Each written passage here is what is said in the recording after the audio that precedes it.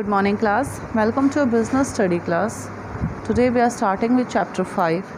In chapter 5, we are going for emerging modes of business. That means now in an area, the mode of business has been changed. Okay, you can see also the way we are doing the business uh, many years ago. Right now, that modes has been changed. The methods has been changed. Now we are using more digital way. Now we are doing the business electronically that is a new emerging mode of business. So let's see read the chapter. The first is need for emerging modes of business. What is the need for this emerging modes of business? Why we are using that? So the to meet ever growing competition quality standards lower prices faster order processing and better customer care there is a need for the business to take benefits of emerging technologies. That means for faster growth for better customer care service for lower price for better uh, quality standards and for growing the competition it is very important that we will go for the new modes of business.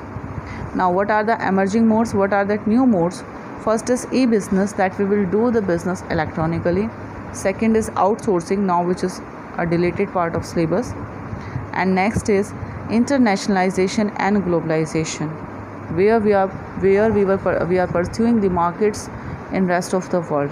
That means we are going beyond our boundaries of the countries. Now in this chapter that means only e-business we will discuss this is not in syllabus and this is in deleted this is deleted part okay? Only a business we are going to discuss now. Now what is e business? Let's see. Electronic business commonly referred as, to as e-business or e-business you can say here refers to conducting business activities over internet or any other computer network. E-business is a new mode and e-business means when you are doing your business activities over internet or any other computer network. That means you are taking the internet facilities you are doing the business electronically. Okay? Electronic business is a general term for buying and selling process that is supported by electronic means if we are talking about business activities so major business activities are buying and selling. And for this buying and selling we are using electronic means or we are taking the support of electronic means. This is known as e-business. Now what are the scope of business? First point is b2b commerce. B2b commerce means when business form okay using the electronic means to perform it any transactions with any other firm. That means when between two business firms when between two business firms transactions are taking place on electronical means or networks this is known as b2b commerce. For example i am just giving you one example that uh, for example uh, one organization is there which is producing uh, automobiles okay? For example maruti is a plant now they are having raw material supply from there where they from where they are getting the plastics bodies or iron or steel bodies whatever they are using. Their seats their engines their gearbox okay? It may possible some part they are producing but some part they are uh, purchasing from outside okay? So many items are there which are needed as an input to produce one car. So when Maruti Suzuki is uh, placing its order electronically within any other organization or any other business firm, this is known as B2B commerce, where the transaction take place between two business organizations, between two firms. Okay. Now next is B2C. B2C means where transaction take place electronically between business organization and customer for example there's one business organization which is having a website and directly selling the products to the customers okay? When if you are reaching to that website and you are placing an order that will be a transaction between between uh, business to customer okay? That is a transaction between business to customer. One we have done b2b business with business transactions. B2c business with customer transactions and now next is c2c that means transaction between two customers. For example uh, Quikr is there okay where you can sold your old items. You are also a customer and the person who's purchasing that is also a customer of that car okay. So this is known as c2c transaction selling old books selling house uh, your own house or selling household equipments. This all are comes under c2c transaction where both the persons are customers of that product. Okay. Now next is intra b commerce intra b commerce means within a business we are doing the transaction. Generally these are the interdepartmental transaction. Between two departments we are doing the transactions. Okay. This is known as intra b commerce okay intra b commerce refers to interaction and dealing among various department and person within the firm. These are the transactions which take place within the firm. Now we have uh, studied about e-business. Now traditional business we know the physical markets the shops like you are reaching there and e-business like you are doing the shopping online platform. You are placing the order on online platform. So let's see what is the difference between e-business and traditional business. Okay? So first of all formation. Formation of e-business is very easy as compared to traditional business because in e-business you are going to just launch a website. Okay? And technical stuff related to that. But in traditional business you need the physical premises to develop that structure first. You have you, first of all you will build a building then you will renovate that building properly then you will equip the staff then only you can start your work. So it's a very difficult form of business. Next in a business there will not be any physical presence okay? We are doing the business electronically but in case of traditional business physical presence is there.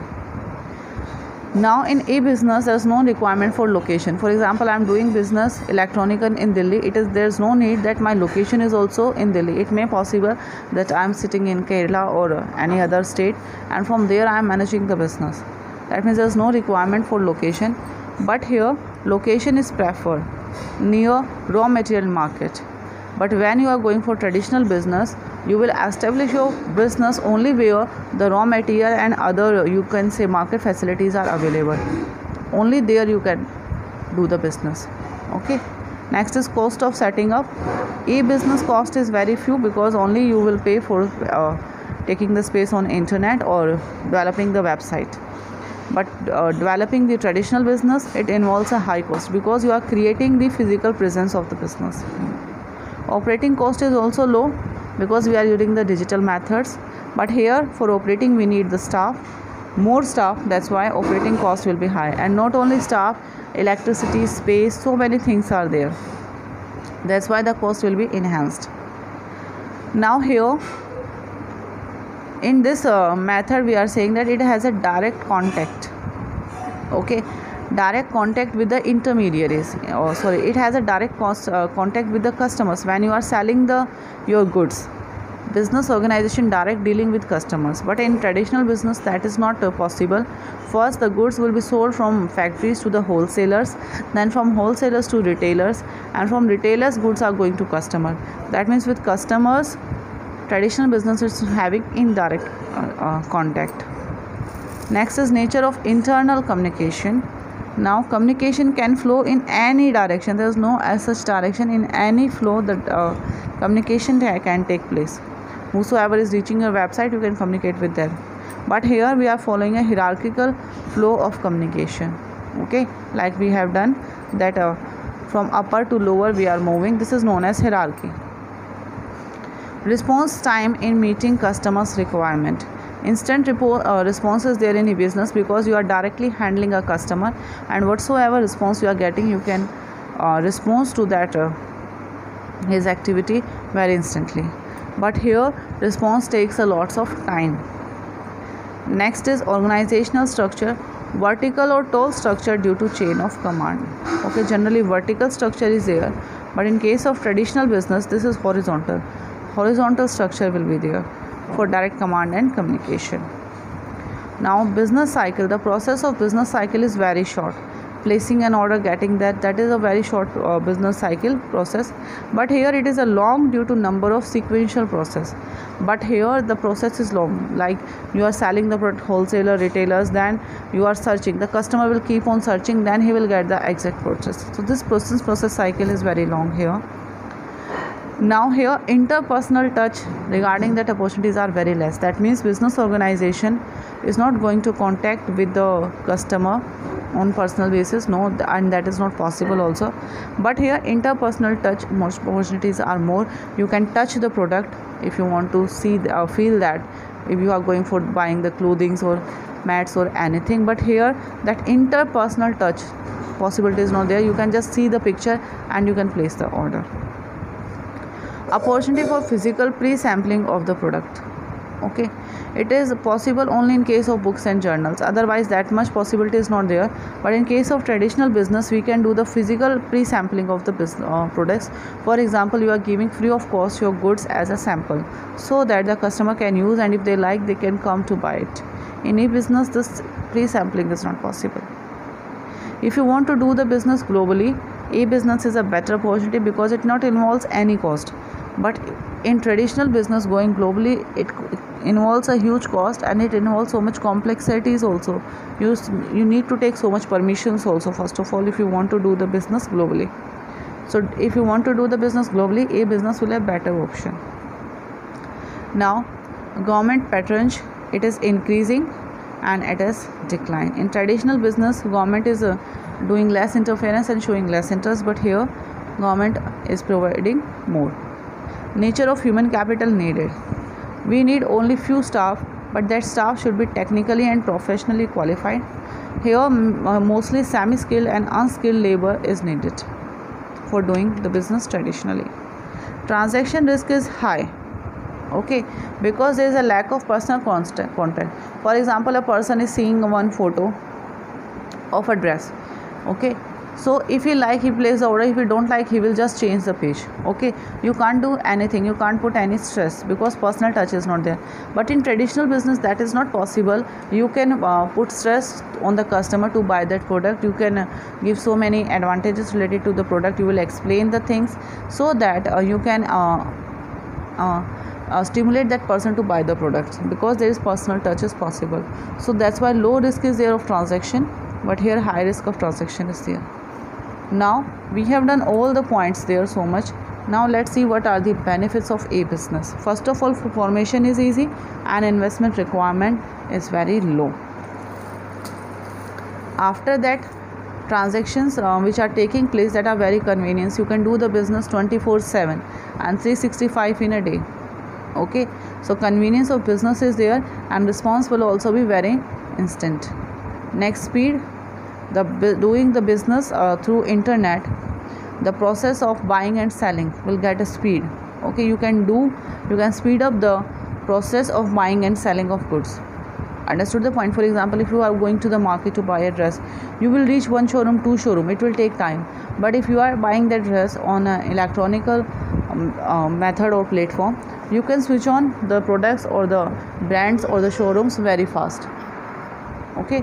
So that's why we are saying that process of buying and selling will be speed up. Global reach is also possible and even easy also in case of electronical methods. After that movement towards a paperless society. When we are doing business on traditional way then every record is maintained on papers. But in case of digital mediums the process uh, the records are also prepared digitally. The order which you are placing the payments records everything the data is created digitally. So through e-business we can move towards a paperless society. Okay. Now one diagram is there.